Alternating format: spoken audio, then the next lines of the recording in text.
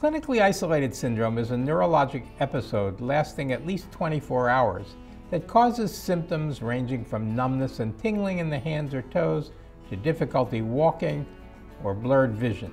If you have an episode of clinically isolated syndrome that suggests the possibility of MS, you may then have an MRI to confirm the existence of lesions on your central nervous system and determine their severity.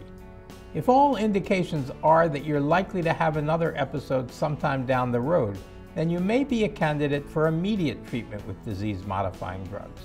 However, not everyone with CIS goes on to develop MS, and there is no way to be 100% sure that someone will or won't. Deciding to take the medications has to be based on discussions with your doctor about the risks and benefits to you Several injectable and oral medications are now approved by the FDA for clinically isolated syndrome.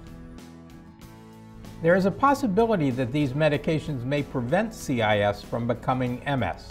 But even if you go on to develop MS, we believe that early treatment can help dampen damage to the central nervous system and slow down disease progression. For more information on managing MS, watch the other videos in this Q&A.